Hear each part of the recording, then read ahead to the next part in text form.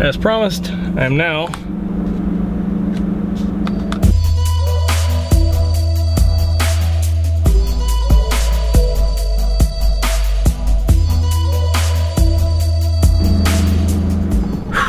back on my way to the airport and headed to Chicago. Uh, flight's not till 1. It's about 10 o'clock right now.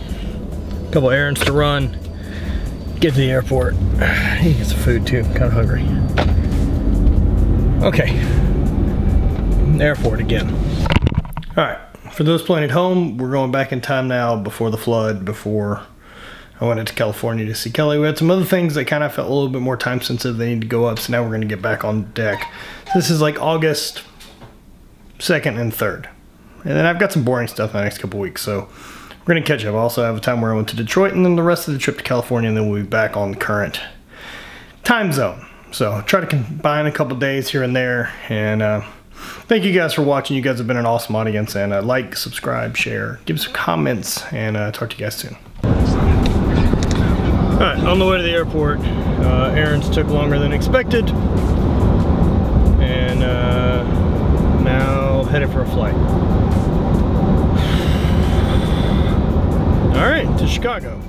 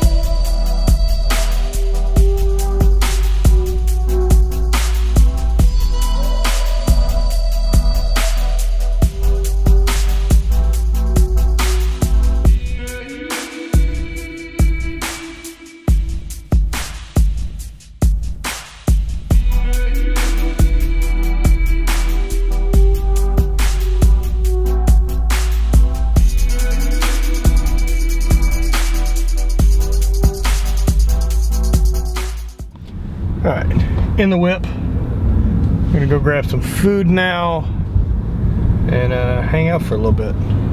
Go uh, go see Buddy Ed. I haven't uh, actually ever, I don't know if I've actually hung out with Ed. Should be fun. You guys will enjoy.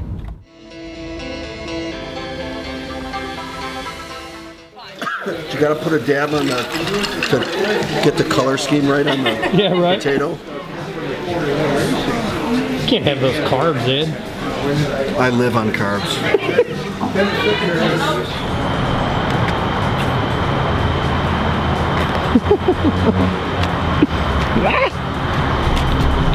Don't fuck with Ed Coan, He'll stab you. That's a fact. There's, there's only so many ways you can get stabbed. so it, it depends how the guy comes at you. So if they come at you low, check, slice their hand, step in, stab on the face, neck. slice the neck across. Shit. It's really cool. Yeah. I gotta learn more about knife stuff. Here.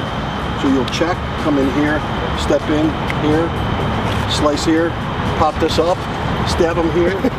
You'll grab their bicep. You control them with your knife right here. So I can move them wherever I want Right. and slide the knife up in that way. See this? This is the knife. Check it with the knife. Slice, stab, bicep, tricep, and right in. And I have to say, It's really freaking cool. And this is this is the this is the fast way. You got a knife, you're just moving, boom, it's all over. This knife getting here, stabbed seems awful. see this slice this thing here, when you get hit with a really not real knife, it's gonna slice through everything. So, it's- sharp and So, so it's not gonna be like this. I'm gonna switch and play with my other hand. No, you're gonna look at it and go like this yeah. and pass out. Yeah, because it's It's gonna cut through your tendons. yeah. That's cool shit. Nice stuff with Ed Coan. There you go. Yeah, put that on video. Shit, yeah. counter violence JKD stuff. So it's like the most extreme violent stuff, that would really happen on the street. Yeah, yeah, more. It all has to be applicable. All this fancy play shit, you can go up and go, bah, bah, bah, well, uh, how can you pull it off in a real fight? Right. You can't if you're attacked. So that's what it's about. It's like you want to make sure that you can go home and kiss your wife goodnight or your kids or whatever. So it, that's what it is at the Right. end of the day. And you know what the best win you can get is if, if, if that guy is so pissed off he wants to fight you and you say, no man, let me buy you a beer. And he doesn't. Well, that's awesome. So, if you're in Chicago and Ed Coan sends you a message to come to dinner, go to dinner. It's really great talking shop, doing all that. Really didn't film much of it because, well, look, I still like hanging out with my friends. It's weird having the camera up. It definitely changes the dynamic of stuff. So, got a cool shirt from Ed. Stoked on that. Gonna have to send him some stuff. All right, so that's my whole day. Ed's awesome. And uh, I'm gonna go to the hotel now. Go to bed. Spread hate. Always party. Thank you guys as always for watching. And uh, have a good night.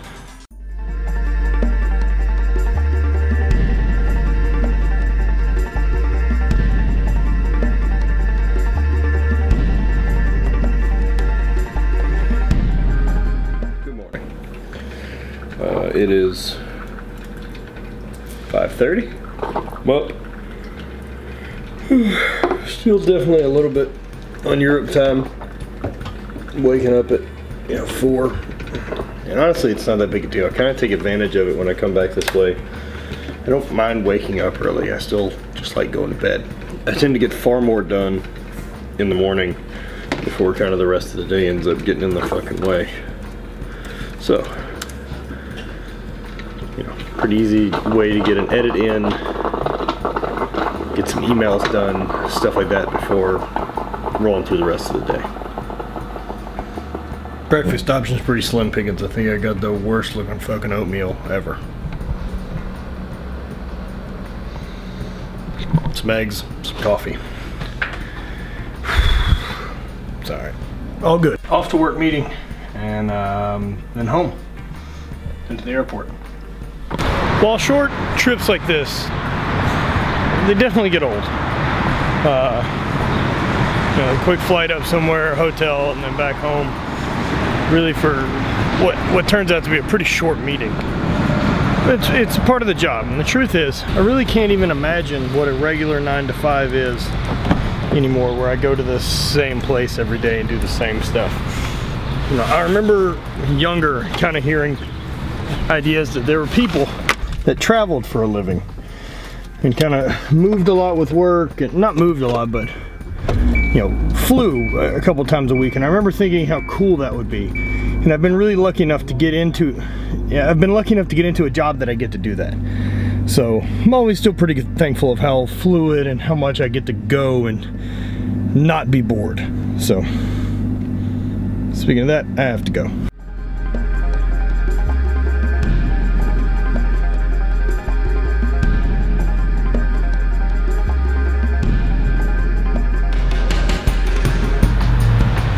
Back to the airport. Quick flight home, direct, two hours, back in New Orleans.